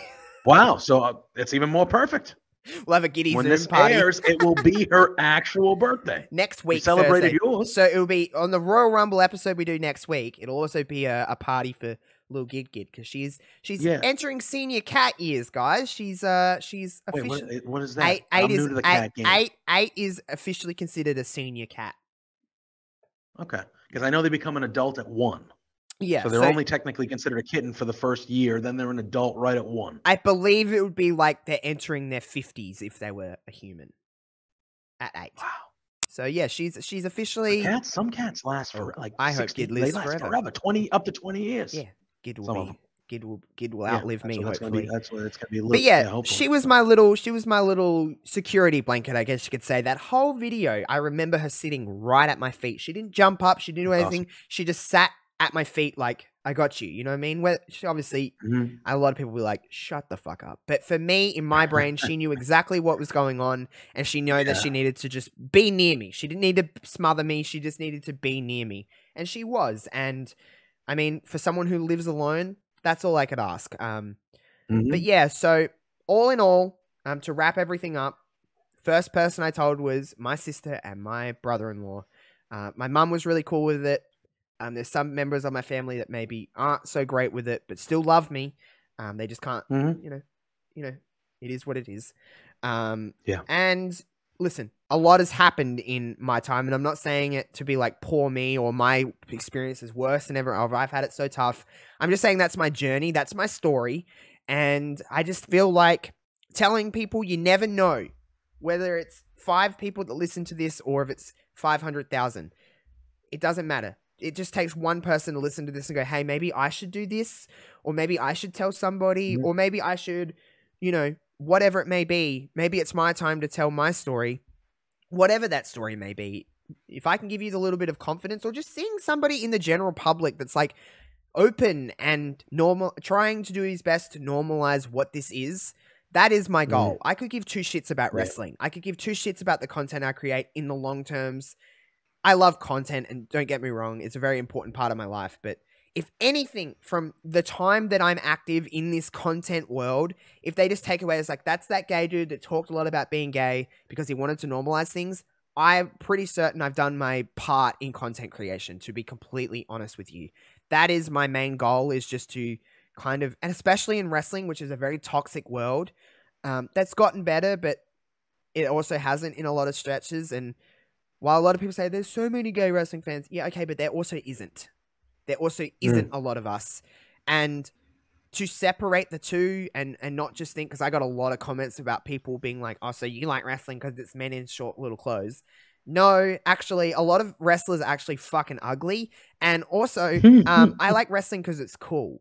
And some wrestlers are hot, yeah. but that just goes with the territory of anything. People are hot, um, but like, mm-hmm. it's not the reason I watch wrestling. I could give two shits. They could wear trench coats and cover up their whole body, and I'd still like wrestling. It's just a part of it. Mm-hmm. Um, but yeah, it's it's just my thing, and I just want to continue to do what I'm doing because I think that it does more good than it does harm. Um, and if I want to talk about Daniel Garcia and how much I love him, and one day we're going to get married, then I'm going to talk about that because hey, why is it a, why is it not okay for me to talk about it, but for Tom down the road to say how much he wants to marry Thunder Rosa? Why is why is that Fair. any different? You know what I mean? Like, and is yeah. this a bit of harmless fun at the end of the day? I talk a lot about Eric Bischoff. I don't actually want to fuck Eric oh, Bischoff, gonna... guys. He's 70 years old. But like, Wait, for a seven, you you don't? Well, for, if I was going to fuck a 70 year old, I guess I'd choose him. But like, I'm not actively pursuing a 70 year old. No, but if he was like, hey, I mean, and he's rich as fuck too. That's oh yeah, and he seems to have a he he seems to have like a good sense of humor. He's a yeah. good-looking man, good-looking individual, and he owned a wrestling company that successfully. I was going to say, like he he is he is part of wrestling history forever, forever. Good for you, Eric. Just for the story. You know what? I take that back. Just for the story. I take that back. Yeah, fuck yeah. Come on, you got him just for the story. What a silver fox. That's a story you have forever. Hey, you know what? One time, me and Bischoff. Damn. What? Yeah. Imagine that story. story. though. Me, a 26 year old man's been like, I remember that night with Eric. Yeah, this one time, me and Eric, you know Eric Bischoff? Hmm, well, be not like, as much as me. Fuck? fuck? yeah. What okay, there's uh, my two goals. To be normalizing uh, uh, just gayness in the world. And Eric Bischoff, you know? Eric, hit me up. No, not really. Mm-hmm. But also like I don't know. Um, but anyway, of course, we end about talking about Eric Bischoff, of course. But yes, you know, that's where that's where my mind is at, and I'm glad I could kind of you know, reshare and share some parts that I've never really shared before. And now you kind of know the journey leading up to that for the most part and know where my head's at now. And, and just kind of, yeah, just, I can't, I, I've said this many, I said this when I first came out and all of the love that I've got, but I really can't, um, thank everybody enough even after all of this time, I still go back and read those comments and I still remember who DM'd me and I still remember who reached out. And I still remember all of the people just giving me so much love and support and everything over that time. Um, I'll never ever forget that in my life. It'll just be something that I don't think it will ever go out of my brain and how vividly yeah. I remember it all. Um, I just got a lot of outpour of support and love from content Josh World and from my normal world as well. Um, it was just it's never truly i don't think i'll ever be able to express my gratitude for that because it was crazy it was just an insane yeah. time in my life and the biggest thing that i'll ever do in my life i don't think i'll ever exceed that um, for many different reasons just because i nothing i literally believe anybody that came out can really do anything because nothing's scarier mm-hmm. um, and nothing is more scary than doing that. And I don't feel scared to do a lot of things anymore. I will I will say that. It's like, well, I did this, so you know, as a very anxious person that I am in general, um, it took away a lot of my anxiety. And I don't That's know how else to I don't know how else to put it. It just it did. It took away a lot of my for me personally. I'm not saying for everybody, but for me personally, it took away a lot of my anxiety. Like I was a person that was anxious to ring up and order a pizza. I was that kind of person, like to get on the phone and do that. Gotcha. Now I'm like, give me the phone. You know what I mean? I know that's a very small, Yeah. minuscule thing, but it is. And it's just like, well, I did that. So, like, I'm not sure uh, about how many people realize, like, getting my mouse over to that post button to click public on that YouTube video. Because once you click public, Yeah. there's no. There's no turning back. Well, you can There's that. delete it, but someone had seen it. Well, you know what I mean? Like, someone's seen it. Yeah, so some, it's real to someone. You know. and posting that.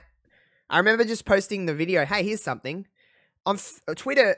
I posted it. I didn't. I just. I literally just put the caption. Please read all of this. Uh, please watch all of this. It's very important. Thank you. And then underneath in the thread, I put, "Yep, I'm gay." Blah blah blah blah blah. On Facebook, I remember going, "I just want to post the video and no one's going to see it, and it's going to be amazing." Then I Yeah. edited the post and it said, "Yeah, I'm gay. Um, I want people to know this. Please take the time to watch this video before commenting." Um, Mm. and yeah, and then it was just kind of like off to the races, and that was at like nine nine thirty six at night. I posted that video, and by eleven p.m., it was like that's when all of the stuff kind of was going on. Stuff, and, yeah. and it was just it was just a crazy, crazy experience that I will truly never forget in my life. But yes, thank you for all the people. I know JPJ, you didn't know me at that stage, and you weren't familiar Mhm. with who I was. Um, but you could probably imagine the amount of comments. And I had to go to Oh, sleep, bet. by the way. By the way. so everyone that was, I was waking say, up, yeah, it's it's PM. Like, yeah, exactly. so yeah. So you were people were waking as up you were going to bed for the night. A lot of people were waking up, going like, "Oh my god, this is great! So like, I I, want to send my love up. to Josh." I woke yeah. up to a like a big string Plethora. of notifications on my Hey, phone. it was I'm like, probably it was probably a good way to wake up. I would guess. yeah, it The- was the also a good way. To, them. it I'm, sure there were. Uh, for, when Hopefully I there first came out, I didn't shitheads. get any shitheads. Although I did get a lot of weird good. dudes in my uh, DMs, like, oh my Oh, god, like trying to trying to make you're moves, kind of like and I'm just like, can you? Oh, it's creepy. alright. Well, it's kind of creepy. Yeah. Let's be honest. I've seen my TikTok. People know me on TikTok, and some of those comments are wild, and I'm like, men are gross. yeah. I've never met someone Yeah, who just instantly gone, Yeah. show me a willy. No thanks. Willies are ugly. I, I, yeah, I um, I've never been the type of person to just meet someone and be and be like, "Hey, here's my willy." So yeah, I'm not. I'm not. I don't know. I don't know Casual how hookups people. are not my thing. No, not for me. Not for me either. Uh, No, thank you. yeah, I just Nothing don't. I don't more live in that. stressful, to be completely honest. Yeah, I don't live in that mindset. Um, so I don't know what it's like to be one of those people that has, I guess you could call it the confidence. I guess.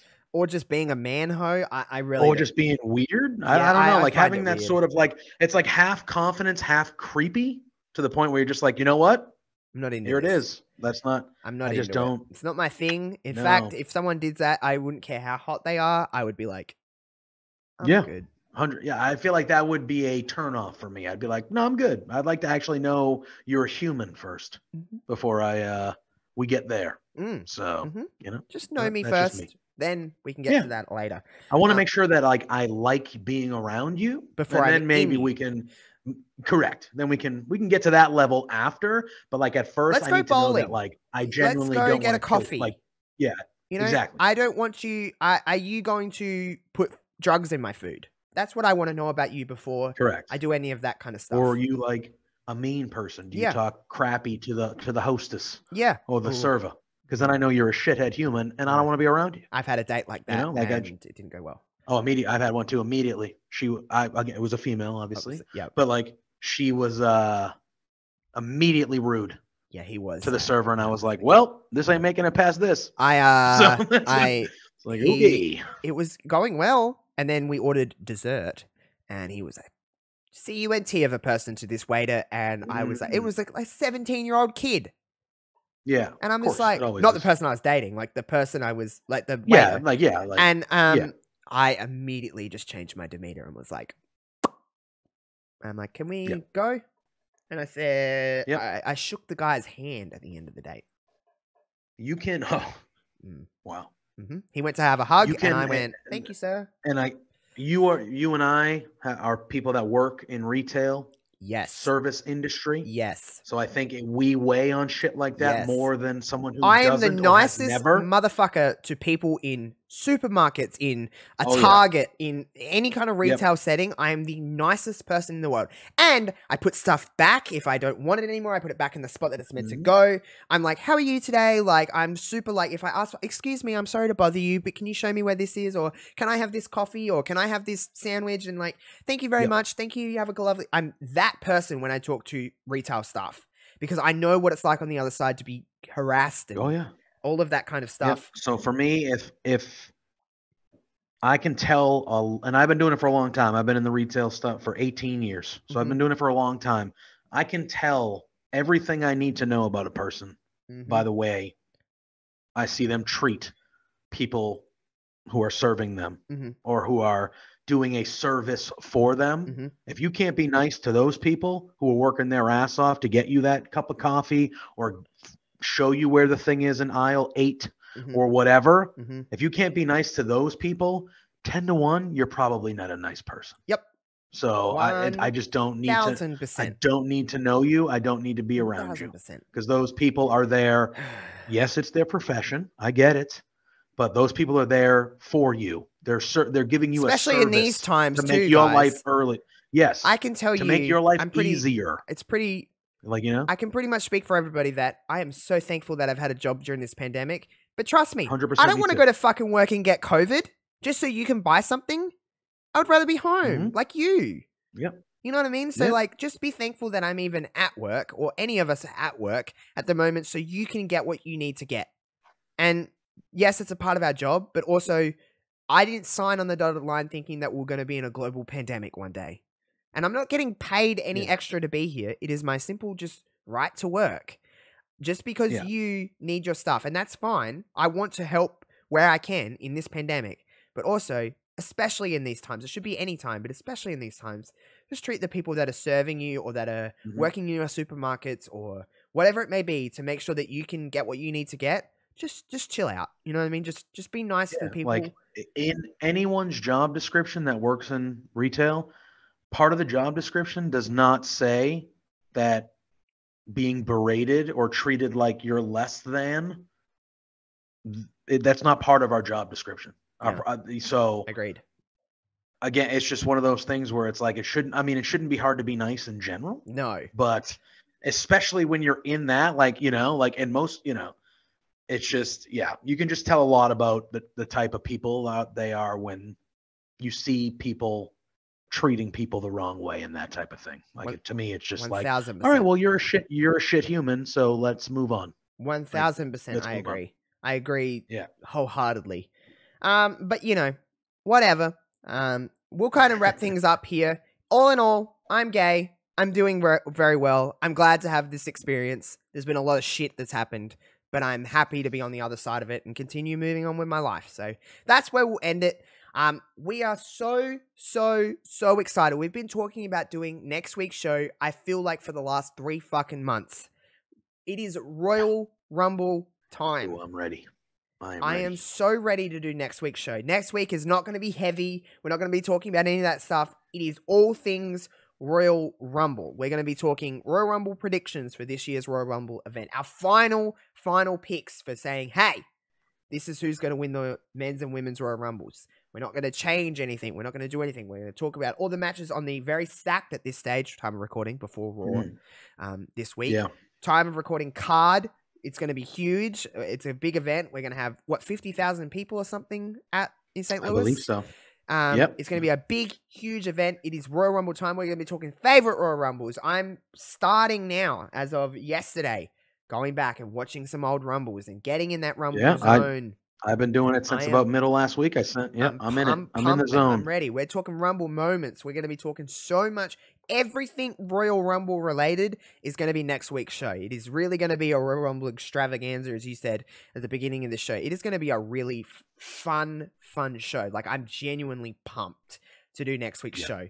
Um, maybe we'll do a little like uh, you know, maybe we could do a random number or something and be like, "This is the number that I got. Will this person win?" or something. Well, like I. I I know I, I reached out. So I used to do a pool with my friends where obviously I want to go through our picks of all the matches Yeah. and things like that. But for the Royal Rumble matches in general, I used to do like a pool where we would pick, you know, who's going to win? Who's going to be the runner-up? Who are the final four? Who's Who's, going to be the number one Yeah. entrant? Who's going to be number thirty? And you get like ten or twelve. Also, mini- who's going to have the most McMahon, eliminations? WWE, Longest time. if you're listening to this show, don't fucking tell us who number one, number two, number thirty is. yes, let us just be 'cause they've been, surprised. doing, they've been doing that the last few years, and it's been Fuck pissing me off. off. Just let us. I would. I would honestly. I'm not even kidding when I say this. I wish we would know none of the participants going into the Rumble. Yeah, People just 100%. say, I might be think- in the Rumble. Can I be in the Rumble? Like, we don't know. And then they just come out and you're like genuinely just surprised. It pissed me off when they Mhm. announced all the women. Yes, I'm very excited and I understand building buzz. Trust me, I get it.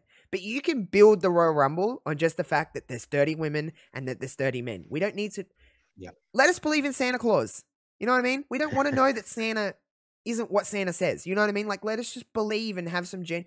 We want to feel like a kid when we watch wrestling, and Rumble's probably the only time where I generally watch wrestling every year when I when I feel like a child because I'm just so into it. I stand up and watch the Rumble, and I'm like, oh my fucking god! Like, here we go. It's Rumble time, guys. Like, it's the Royal yeah. Rumble. Like, I just want to feel like that, and um, sometimes WWE suck the fun out of stuff very easily. So don't tell us who number one is. Don't tell us who number two is. Don't tell us who number 15 is. Don't tell us who number 30 is. Just let us just be like, I love that. You know that moment when they say, and now it is time for the 30 person Royal Rumble match. And then the Yeah, kind of let's see silent. Who drew number one? And it's just like, and everyone's like, "Oh shit, and they, who is it?" they, they wait for the music and you're just like, Yeah. who's it going to be? Like, who's it gonna yeah, be? who's number one? I remember. yeah. I, I know I gave this to you, and this is a little teaser for next week. But I gave this to you, Ro- uh, JPJ Royal Rumble 2008 in MSG, the really small arena, and they're like number one, and number one was the Undertaker, yeah, and number and two. number two Shawn, Shawn Michaels. Michaels, the two people that ended It the Rumble amazing. last year. But that story going up to WrestleMania 25, they led into that with so many things over the years. But like, Mhm. JPJ, The Undertaker and Shawn Michaels are arguably the two greatest performers of all time. You could make an argument Mhm. that they're the two, greatest. They started a Royal Rumble match, and we didn't know that they were going to start. Like these Nope. genuine surprise of being like, Taker and Michaels? Yeah, Holy shit. Yeah.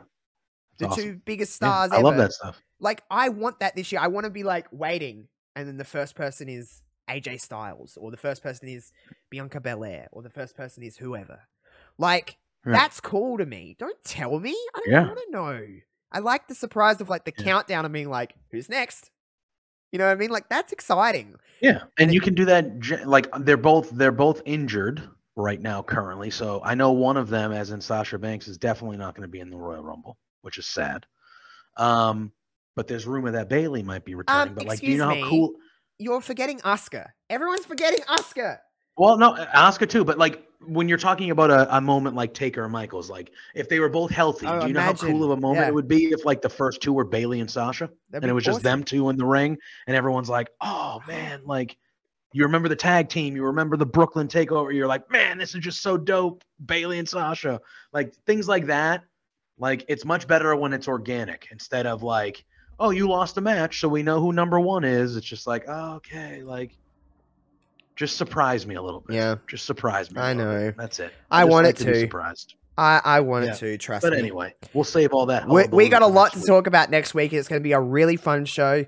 Um, so have a good Thursday, everybody. We wish you all the best. I will say that by the time uh, this episode airs, you'll know more. But from this episode airing, uh, we are like four days out from the return of the legacy of. You know that I now have an editor with a person who used to work for What Culture, by the way. If you don't know who Sam is, go and follow him, Sam at Sam the VA mod. Um, you can go do that. At this time, you'll actually know that I now have physical art drawn for the legacy of by my sister, who is a very, very talented drawer. Um, you will know the Britt Baker uh, artwork will be out. She drew it herself. That's going to be all artwork for the legacy of going forward. is hand drawn. So I have an artist, I have an editor, I have myself, and I have Love Wrestling to back me. Um, I've been telling people for a long time that this return is going to be just not the same as before. This is what I mean. This is going to become a polished piece of work. It's not just a piece of content. This is a piece of work that I'm going to let live on forever. And I truly, truly believe that this can grow and be big if we let it be and if I put enough effort into it. Um, and I'm pretty certain that I'm pretty confident that the work is going to speak for itself. Trust me, when I say that because it is not the same piece of content as before, and it's all for the better. Um, so 8 a.m. Monday morning, my time. So for a lot of you guys in the states, it'll drop around 5:30, 5 p.m., 4:30, something like that, Eastern time in the states on Sunday night. So you ever watch it on Sunday night your time, but Monday morning my time, 8 a.m. Australian Central Daylight Saving Time is when the season two begins of the legacy of. We're doing Dr. Britt Baker DMD, and we're talking all things Britt Baker in this new look legacy of. Um, and yeah, I've never ever overstated something so much in my life and overhyped something so much in my life because I am genuinely, genuinely saying that this is the best piece of content I've ever created. These new look legacy ofs are the best things that I've ever created in my life. And I am so ready. I am so ready for you guys to see it. So Legacy of is coming back Monday morning and every Monday um, after, for the time being for season two. So I'm very ready for it. I don't mean to overhype anything in my life, but No, I'm ready. no, it's okay. I I love that series, so I'm very excited to see it come back in its new polished iteration. Yeah. So I'm very excited. it's it's very re- very ready. So go and watch that. Follow Love Wrestling at Love Wrestling CA. Pretty much, is that pretty much constantly everywhere? Love Wrestling CA everywhere. Yes. Yeah. yes. Um, Yeah. go and follow them on your favorite platform and stuff like that because we're doing big things. We'll have more stuff to talk about. we I are. believe by the time the Rumble episode is out, I believe we'll have even more Mhm. stuff to talk about uh, for Love Wrestling and for other things. Um, but yeah, other than that, watch Between Two Beards. Um, do all the stuff. Watch Yeah, the Weekend Elite Report. That's coming. That's kind of back, isn't it? Yep. And then this week, by the time this airs on Sunday, the 23rd, GCW is having a very big event at the Hammerstein Ballroom Sunday night. And me and our buddy Lawrence from Love Wrestling will be doing our first ever Love Wrestling GCW reacts to that. So you'll get whole whole heaps of me over at Love Wrestling this weekend. So give us a follow between two beards. We had Alicia Atout on last week. Mm. That was a lot of fun. So go watch that episode. That was one of the funner episodes we've done. We also had an appearance by MLW's open weight champion Alex Kane on that episode as well. So doing big things over at Love Wrestling, like you said. And I feel like this year is going to be a real big one for us over there. So go give us some love. But then you'll see us next week for our Royal Rumble extravaganza. which we're ready for. So go do that. We love you very much, and we'll see you next Thursday on the J and J Power Hour. Peace out, everyone.